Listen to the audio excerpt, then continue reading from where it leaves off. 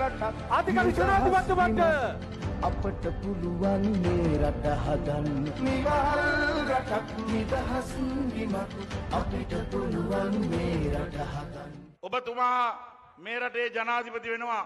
හැබැයි ඔබතුමා ජනාධිපති වෙන්නේ රෑට ටීවිය එකේ දාන රැස්වීම් වලින් නෙමෙයි. ඔබතුමා ජනාධිපති වෙන්නේ ෆේස්බුක් එකේ දානේ වලින් නෙමෙයි. ඔබතුමා ජනාධිපති වෙන්නේ හදවතේ ඇඳිලා තියෙන මිනිස්සුන්ගේ කෙලෙහි ගුණේ මනාපෙන් තමයි ඔබතුමා ජනාධිපති වෙන්නේ. ගතු. අපි එක දෙයක් මේ චන්දේදි දැක්කා. පක්ෂවල බෝට් ඉන්නවා කොයහරි පක්ෂවල මිනිස්සු ඉන්නේ ජනාධිපතිතුමත් එක්ක. පොහොට්ටුවේ බෝඩ් එක තියෙනවා වෙන කොහෙද පොහොට්ටුවේ සාමාජිකයෝ ඉන්න කවුරු එකද පොහොට්ටුවේ මන්ත්‍රීවරු ඉන්න කවුරු එකද අපි ඊයේ සම්මන්තුරේ ගියා ශ්‍රී ලංකා මුස්ලිම් කොංග්‍රසයයි රිෂාද් මහත්තයාගේ පක්ෂයයි බෝඩ් කෑලි දෙක අරගෙන ගිහිල්ලා සජිත් ගාව. හැබැයි මිනිස්සු පිරිලා සම්මන්තුරේ කාට්ටාන් කුඩිවල ඒ අය ඉන්න ජනාධිපතිතුමත් එක්ක. අද උදේ අපි වවුනියා ගියා. සම්පූර්ණ දෙමළ ජනතාවගෙන් පිරිලා ගිහිල්ලා තියෙනවා වවුනියාව.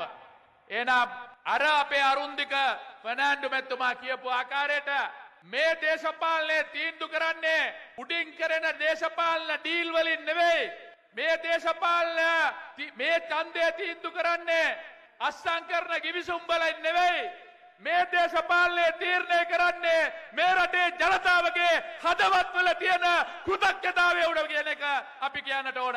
පක්ෂ පාට ભેදවලින් තොරව සියලුම පක්ෂවලට අය අය ජාති ආගම් නියෝජනය කරන අය එක දෙයක් තේරුම් අරන් තියෙනවා.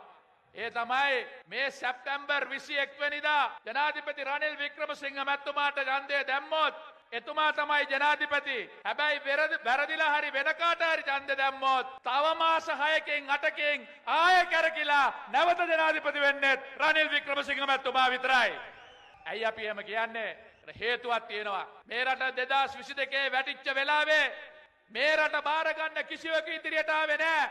හර්ෂද සිල්වා මැතිතුමාලා පැය තුනක් සාකච්ඡා කරලා විපක්ෂ නායකතුමත් එක්ක මේක අත හොදගත්තා අත ගහන්න බැරි දෙයක් කියලා. ඒ වෙලාවේදී මේ රටේ ජනතාව අසරණ වෙච්ච වෙලාවේදී කිසිම බයක් සැකක් තොරව අපි කරපු ආරාධනාව පිළි අරගෙන රට ගොඩනැගීම සඳහා රනිල් වික්‍රමසිංහ මැතිතුමා එදා ඉදිරිපත් වුණා. ඉදිරිපත් වුණා විතරක් නෙවෙයි ඒ ඉදිරිපත් වුණු හින්දා එතුමාගේ ගෙදර ගිනිමත් කළා. එතුමා ජීවිතය මෙන් සලකන එතුමාගේ පොත්පත් ටික ගිනිමත් කළා. එතුමාගේ කාර්යාලය අල්ලගත්තා. එතුමාගේ මන්දිරය අල්ලගත්තා. එතුමා නෙවෙයි පස්ස බැලුවේ. එදා පස්ස බැල්ල තිබුණා නම් එදා රට අරගත්තේ නැත්තම් අද බංගලාදේශයේ වෙන දේවල් තමයි ලංකාවේ වෙන්නේ. ඒ යුගයට ආයෙ යන්න හොඳ නැත්තම් අවශ්‍ය නැත්තම් අපි ලබාගත්ත මේ ප්‍රගතිය තවදුරටත් අරගෙන යන්නට ඕන නම් රටේ තොටේ අපි මම පහුගිය දවස් දෙකේ අතුකර ජනාධිපතිතුමත් එක්ක මේ ආමන්ත්‍රණය කරන අටවන රැස්වීම එක දයක් පැහැදිලි මිනිස්සු අපේ රටේ මිනිස්සු කෘතගනු සලකනවා.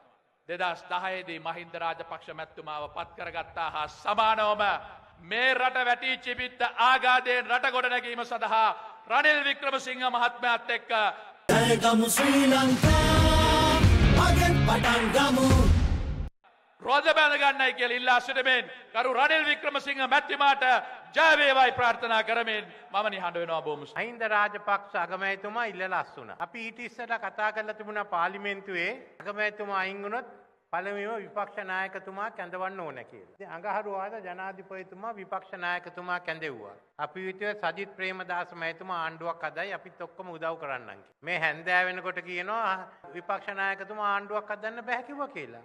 ඒක ගිනෙස් වාර්තාවක්. පළවෙනි වතාවට ආණ්ඩුවක් හදන්න බෑ කිව්වේ විපක්ෂ නායකතුමා තමයි සජිත් ප්‍රේමදාස මහතුමා. බදාද උදේ ආවා අපේ ෆීල්ඩ් මාෂල් ෆොන්සේකා මහතුමා යනවා කියලා. ඒත් එතුමත් කිව්වා එතුමට ආණ්ඩුවක් හදන්නට තාම අවස්ථාව නැහැ කියලා. ජනතා විමුක්ති පෙරමුණ තීරණය කරා මේ ගැන කතා නොකර ඉන්න. මට ජනාධිපතිතුමා එන්න කිව්වා.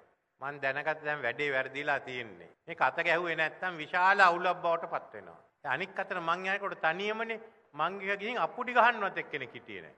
බෙර ගහනවා නෙවෙයි අප්පුඩි ගහන්නවත් හිටියේ නැහැ. උරේ එකක් දාන්නවත් හිටියේ නැහැ. ඉතින් මං තනියම ගිහින් මේක බාර අරගෙන ඊට පස්සේ මන්ත්‍රෝන්ට කතා කරා මේ සියලු දෙනාම මං එක එකතු වුණා මේ ආණ්ඩුව ගෙනියන්න. අන්න එහෙමයි අපි ඔක්කොම එකතු වුණේ. නම කිව්වා සජිත් එන්න මං එක එකතු වෙලා අගමැති වෙන්න කියලා. නෑ ගිහින් ඒ වෙනුවට දලස් අලාප පෙරමුණ යටතේ අ, තරඟ කරා. නංක සහයෝගය. එතකොට මොකද්ද කරේ? ආපහු එන්න කියලා නෑ. මට කිව්වා රනිල් රාජපක්ෂ කියලා. හැමතැනම ගියා රනිල් රාජපක්ෂ කියලා. දැන් මොකද්ද ඒගොල්ලෝ වෙලා තියෙන්නේ? රාජපක්ෂ නැතුව ආණ්ඩුව යන්නේ. දැන් හිර වෙලා තියෙන්නේ. ඒකත් ඉවරයි. හරියට රට ගැන හිතලවත් වැඩ කරපු කණ්ඩායමක් නෙමෙයි. දැන් අපි ජනාධිපති වෙනක් පවත්වනවා. බලන්න බංගලදේශේ පාර්ලිමේන්තුව ඉස්සරහ හැරියා ඡන්දෙ තියන්න බෑ. මන්ත්‍රීවරු මරලා දාලා කතානායකතුමා හොයන්න බෑ. මැතිවරණ කොමසාරිස් හොයන්න බෑ. අන්න එතෙන්ටයි අපි එන්න තිබුණේ. මං එදා ක්‍රියා කරේ නැත්තම් මෙතුමලා එදා ක්‍රියා කරේ නැත්තම් කියලා මම මතක් කරන්න කැමතියි. මං කියන්න ඕනේ මේක තමයි රනිල් වික්‍රමසිංහගේ පාලනය. මේ රනිල් වික්‍රමසිංහ මේ කණ්ඩායමක් ඇතිකටපු පාලනය. පළමුවෙන්ම කෘෂි නවීකරණය නිසා මේ ප්‍රදේශයේ පොල් වගාව තව දියුණුවෙන්ට තියෙනවා. ඒ බලාපොරොත්තු වෙනවා පොල් වගාව දියුණු කරන්න. ඒකම පොල් වගාව දියුණු කරන ගමන් මාදම්පේ ආර්ථික කලාපය මං ඇති කරනවා. මාදම්පේ ආර්ථික කලාපේ බිංගිරියේ තියෙන අක්කර 1000ක ආයෝජන කලාපේ. අන්න එතන තියෙන ආයෝජන කලාපේ. ඉරණවල තියෙනවා සංචාරක කලාපේ. මෙතන ඇති කළා සංචාරකයෝ ගේන්න. සංචාරක කලාපයයි ඒ වගේම ආයෝජන කලාපයයි. ඒක මැද අපිට පුළුවන් ඩිජිටල් කලාපයකුත් ඇති කරගන්න. ඔන්න ඕකයි තියෙන දියුණුව. ඒ එක්කම කලාවත වරාය දියුණු කරනවා. අපේ ප්‍රධාන දීවර වරායක් හැටියට ඇයි ඒක කරන්නේ? කලාවත දීවරයන්ගේ නිෂ්පාදනය කෙලින්ම ෆ්‍රීසර් වෑන් වල දාලා කටුනායකට යවන්න. මේ ඔක්කොම කරන්න කටුනායක අධිවේගයේ මාර්ගයේ මේ කලාපයට අපි එකතු කරනවා. අන්න ඒකයි අපි කරන්ට ඉන්නේ. ඒ දියුණුව. එහෙනම් අලුත් කලාපයක්. අක්කරජ ඊළඟට බිංගිරියෙන් මෙහා තියෙනවා කුලියාපිටි. මෙහෙන් තියෙනවා හලාවත. ඉතින් විශාල දියුණුවක් මේ ප්‍රදේශයේ ඇතිවෙන්න යනවා.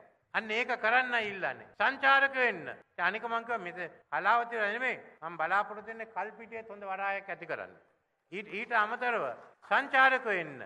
සංචාරක මෙහාට ගේන්න. කල්පිටිය සංචාරක කලාපයක් කරන්න. ඉරණවිල සංචාරක කලාපයක් කරන්න. අපි ඉන්නේ සංචාරකයෝ ලක්ෂ 25 ඉඳන් ලක්ෂ 50 දක්වා වැඩි කරන්න. අන්න ඒකෙන් තමයි ආර්ථික පරිවර්තනය කරන්නේ අපනයන ආර්ථිකයකට. මං අහන්නේ රෑ වැටුණු වලේ දවල් වැටෙනවද? දැන් හැමතැනින්ම අපිට සහයෝගය එනවා. උතුරෙන් එනවා, දකුණෙන් එනවා, බටහිරින් එනවා, නැගෙනහිරෙන් එනවා, මැදින් එනවා. දැන් විශේෂයෙන්ම ඇත්ත වශයෙන්ම හැම හැම පැත්තෙම සහයෝගය ලබාගෙන. ඒ නිසා මම කියන ඔබ සියලු දෙනාටම අද ඉඳන් ගෙයින් ගෙට යන්න කියලා මං කියනවා. මේ ඉන්න හැම පක්ෂයම මං කැමති වචන ස්වල්පයක් කතා කරන්න එක්සත් ජාතික පක්ෂයයට. අපේ අය බෙදිලා සමහර අය ගියා සජබෙට.